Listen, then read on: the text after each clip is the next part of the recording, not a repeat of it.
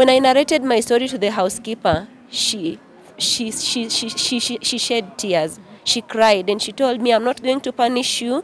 I'm going to let you move in into my house. And that is how my, my life got at least at least better. But the depression had gotten so worse that sometimes at night I would just wake up, start walking, find myself in the market at, at like 2 a.m. Yes, yes. In, in the market at 2 a.m. I don't have shoes. I don't have. I am in my pajamas. I cannot explain what was it, what was happening. So one of these fine days, my friend just tells me we go to the health unit so that they, they know or they find out what is happening with me. And I was diagnosed to have complex PTSD. PTSD is post traumatic stress disorder. That is what they diagnosed at that time.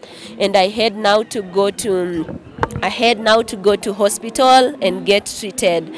So I started medication. They are called psychotropic medication, uh, the medication that you are given for having mental illness. And I took that until I completed my fourth year. After fourth year, I went back home. And at this time now, I don't have medication. I don't have money. My mom is just there again.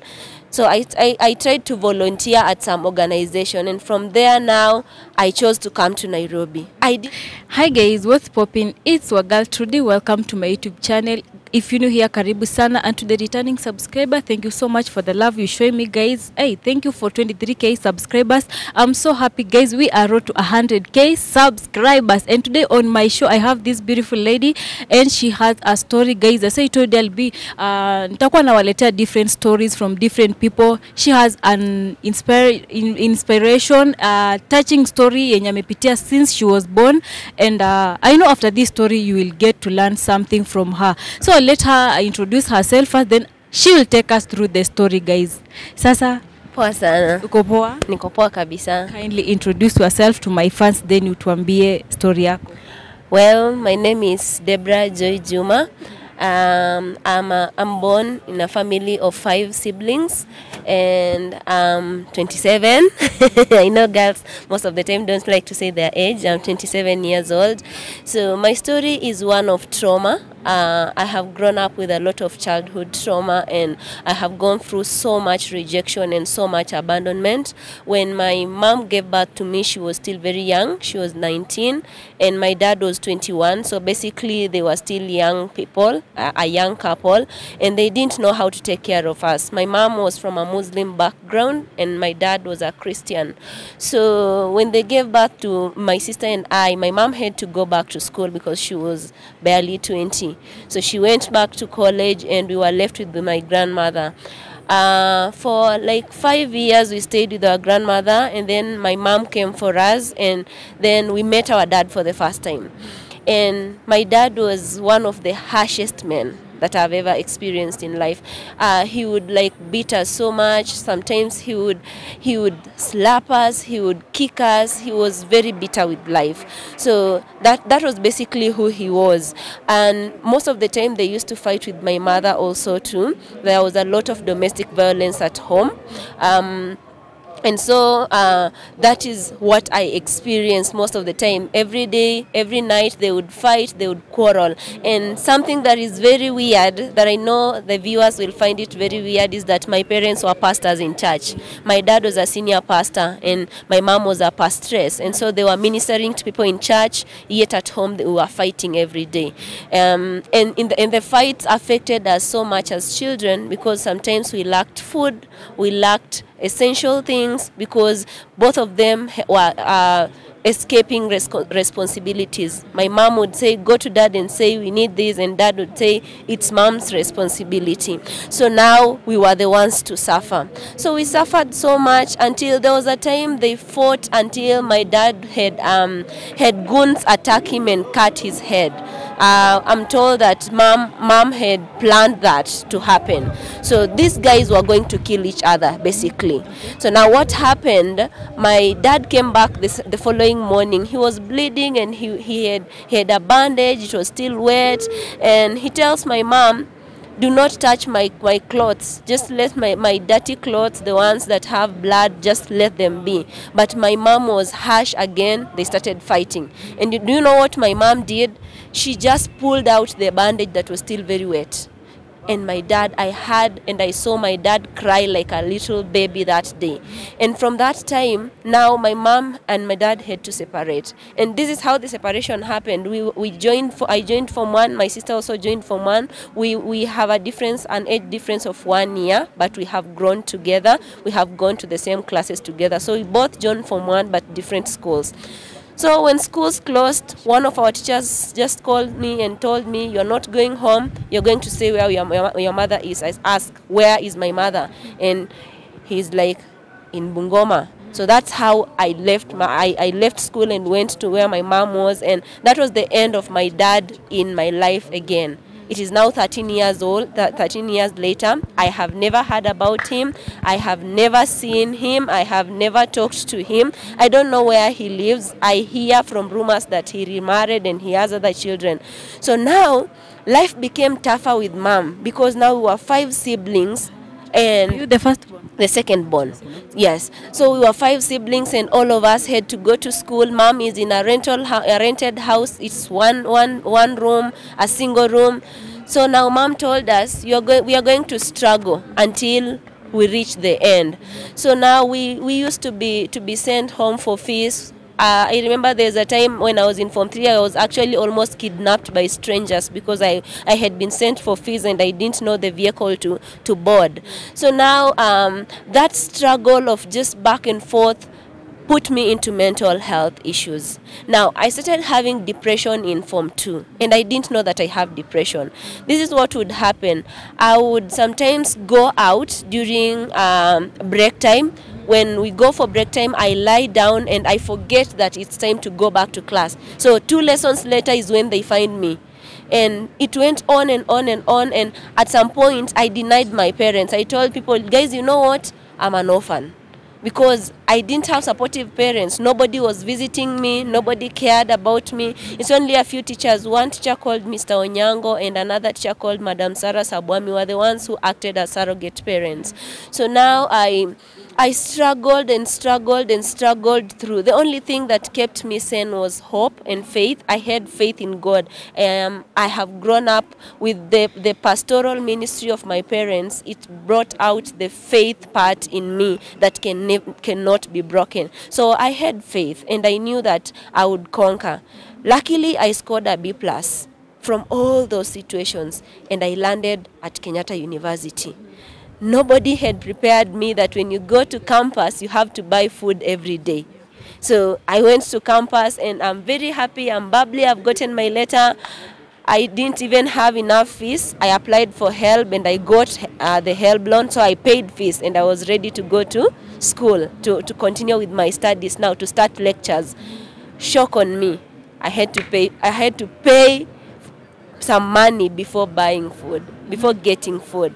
So I go to the mess and they tell me, Where is your receipt? I, I, I don't know. I don't have any receipt. I didn't know people pay for, for food. So, so now that led me into working for people. I told myself I'm not going to look for men to give me money or any other way to get money. I told myself I'm going to work hard and just earn money. If I calculate the lectures that I attended in campus, they are less than 40% because I spent almost all my time just working for people as a nanny. I worked as a house girl and it was very, very traumatizing because I have mental health issues. I'm struggling with depression. I'm struggling with so much and I have to cook. Sometimes you find me cooking with soap, like liquid soap instead of Instead of instead of cooking cooking oil. And I can't tell, I don't know how I have gotten myself into cooking like that, you know. So I'm sent away, I'm told I'm a witch. Um, so I went through those things as I was working as a nanny. So later I started working for people on the farms. I worked on the farms and there's this one time I went to school, I, I had an exam and I pirated, I, I slept with someone on, on her bed, and that was illegal at Kenyatta University. So one of the night attendants comes and finds me there and tells me, you know what, you're going in for a disciplinary action. And he, he took me to, to, the, to the housekeeper. When I narrated my story to the housekeeper, she, she, she, she, she, she, she shed tears. She cried and she told me, I'm not going to punish you. I'm going to let you move in into my house. And that is how my, my life got at least at least better. But the depression had gotten so worse that sometimes at night i would just wake up start walking find myself in the market at, at like 2 a.m yes yes in, in the market at 2 a.m. I don't have shoes. I don't have. I am in my pajamas. I cannot explain what was it, what was happening. So one of these fine days, my friend just tells me we go to the health unit so that they, they know or they find out what is happening with me. And I was diagnosed to have complex PTSD. PTSD is post traumatic stress disorder. That is what they diagnosed at that time. And I had now to go to I had now to go to hospital and get treated. So I started medication. They are called psychotropic medication, uh, the medication that you are given for having mental illness. And I took that until I completed my fourth year. After fourth year, I went back home. And at this time now, I don't have medication. I don't have money. My mom is just there again. So I, I, I tried to volunteer at some organization, and from there now I chose to come to Nairobi. I didn't know where I was going. I just came to Nairobi homeless without anybody uh, at the at the, the children's home where I had volunteered I had made a friend called Naomi. So Naomi told me when you come to Nairobi I can accommodate you. She accommodated me but she didn't have a job. She used to work online. So we we was basically just surviving. And then at some point I, I almost killed myself. I was very suicidal because I don't have medication and I have a very very bad mental health state. So so uh, I reached out to a certain lady on Facebook. She's called Grace Kariuki, and she lives with me up to now. Grace told me, You need counseling, you need therapy. And so, um, we met. She came to where i was. I shared with her my story. I cried. I told her how i have been abandoned and rejected and i don't have anyone even to to call family at that time. And she told me yeah you can move in with me. I'll help you. I used to struggle so much i can't count the number of times i've tried to commit suicide but I, I, I thank God because all these times that I have tried, none has succeeded. There's a time she even found me trying to hang myself, literally. There are times she has found me with a knife wanting to slit my throat at night, literally. But that didn't, didn't work, didn't happen because God was always on the throne. So now uh, I finished. Um, I, I, I, finished my campus. I graduated. I started living with her, and then we started the journey of now mental therapy, mental therapy, uh, going for treatment. I am still under the psychotropic medication. As we speak, I, I, I take medication at night. I do quetiapine at night. I do diazepam at night. And in the morning, I do medication called Zosat and another one called Aten. So I'm still under psycho, psych, psychiatric review and therapy, but it is working well. So the thing that I want to tell people is the, uh, the, the having the heart of resilience. You know, it's very easy for you to give up when situations around you are putting you down, when nobody is there for you, when nobody cares about you, when nobody is there to watch over you. Rejection will, will make you do things that are not good. So I want to, uh, to, uh, to, to let people know that mental health issue, uh, issues are real and they are happening. And we need to be kind to one another. You know, if I didn't find grace, maybe by today I might be dead. You know, so then the person you are standing next to today might be going through a very hard time. And the only thing that they need is you to tell them you are valued and you are a person that uh, needed in this world. You know, you are a person that can bring change in this world no matter where you are. So that made me um, write a book because now my situation i wanted to bring it out to the world for people to read out and people to to know that mental health is there and for people to know that it is it is easy even when it is hard. I know that is a paradox. It is easy even when it is hard. You can be bent, but you are not broken. You can be bent today, you can be bent by circumstances, but you are not broken. You can still pick up your pieces and you can still forge forward. So I wrote the book When Life Hurts. That's my book. It's called When Life Hurts. And it narrates all the things I've gone through and the resilience that I have fought through. That book book is written out of a victor point of view and not a victim point of view. Because you know it's easy for you to throw pity parties and do woye woye here and there when life hurts. Um, and it's also very easy for you to stand your ground and to say today not today satan. Yeah. not today satan. So that's just part of my story how i have overcome mental health issues and grown and through resi- re- resilience been able to make it to where i am today yeah i don't know whether you have any question Okay, I'm so sorry for you. Uh, this story is so touching. I'm even out of words. But personally, uh, maybe what I would like to ask you, so far, have you maybe ever tried to reach out to your parents to know where they are and maybe try to talk at least ujue how mnaweza patana kivipi because now it's like unakai, it's like uko orphan, right? Yeah, because yeah. you really don't know where they are. Have you ever tried maybe to look for them? Yeah, uh, I have never tried to look for my dad because honestly, I am still bitter with my dad. A little bit bitter with my dad. Uh, he left us when we needed him more. But my mom, uh, I reach out to her once in a while. I send her money for upkeep because I have twin brothers who are still young. They are 12 years old. I support them. I support my mom, and but we don't have a relationship. We don't have that rapport, the, the mother-daughter rapport, which you can talk and you can hang out with and you can do things together. That is not there. Yeah. Okay, and uh, uh, maybe to take you back kidogo uh, umeeleza story story ni refu na mi nimeisikiza sana maybe uh, utueleze kidogo when did this story happen ile time yenye your dad and your mom started to fight again ma dad akakuja akiwa na bandage and everything when the, did it happen I was in primary school. Actually, when the fight started, I was in, in, in grade two.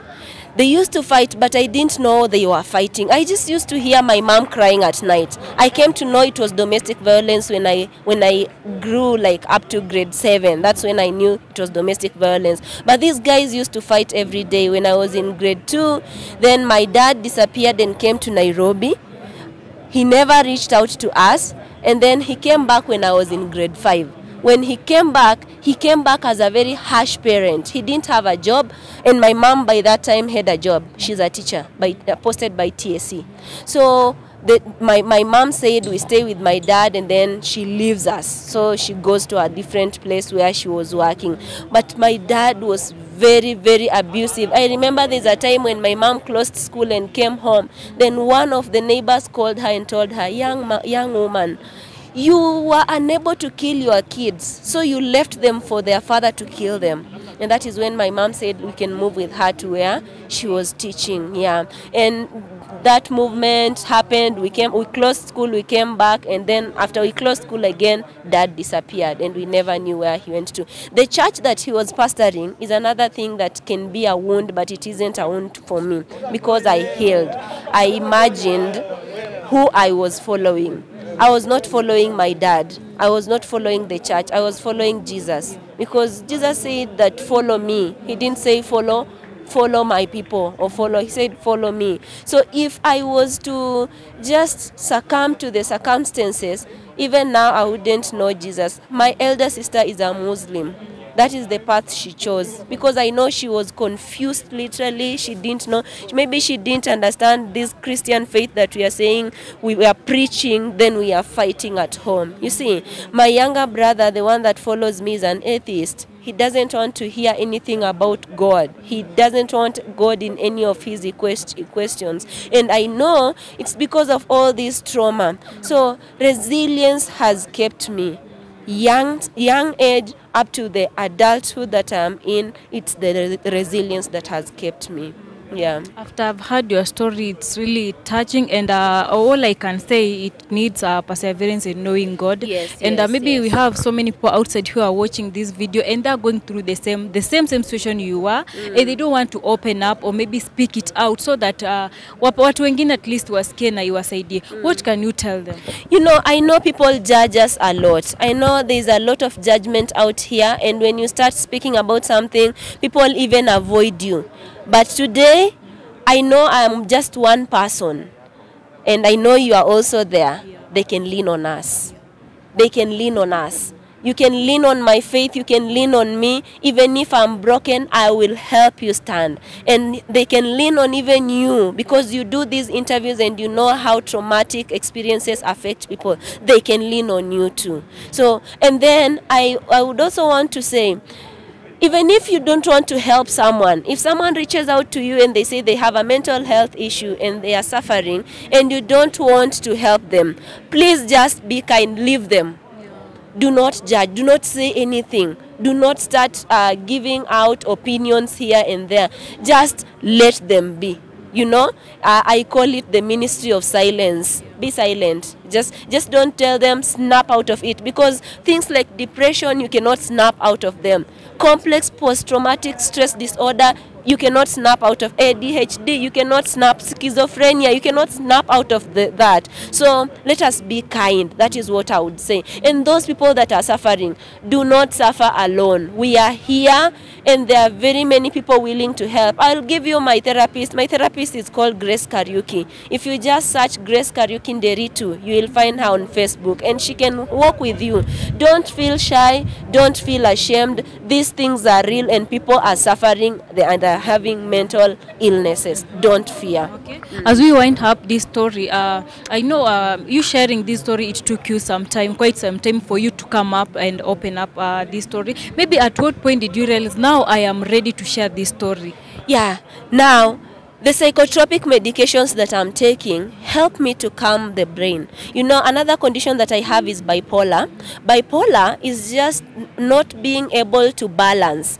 You are high and then you are low. So there, there's no middle, you know. So the psychotropic medication made me come up to that middle point where I can now reason and my brain is at rest. So from that point now, I can speak out. I can share i can talk about it you know and another thing that also made me to start talking about this is therapy just talking to a trusting a mental health therapist who is qualified and licensed will help you to speak about these things yeah that is what has helped. Okay, you've said you have a book, and maybe so many people would like to get that book. Uh, maybe you have social media handles. How can they get the book? So if you want to get my book when when life hurts, you can send uh it it's, it goes for 500 shillings. So you just send money to 0701 469644. That is 07 01 46 96 44. If you want to find me on Facebook, I'm Deborah Joy Juma. Uh, on Instagram, Deborah Joy Juma. On Twitter, at Deborah Juma 1. Yes. Uh, so many people uh, do launching their books. Are you uh, planning maybe to do your launching anytime soon? And maybe yes. if I'm launching my book at Alliance Française on um, 12th. On 12th, come listen to When Life Hurts.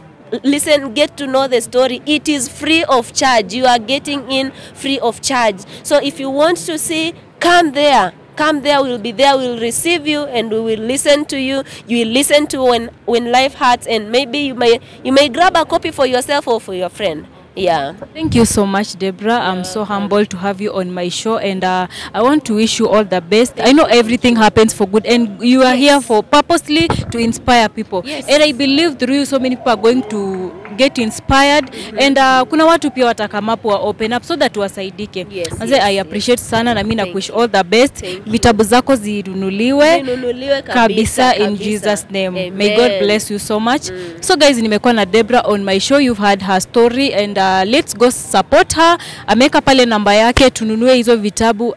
Personally, I'm going to grab one at least ni- nisikie story. Unajua ametupatia tu. maybe I should show the, the book. Yes, you can. You can. You can. You can show I can us. show, I can show how the book looks like so Okay. people can can know it.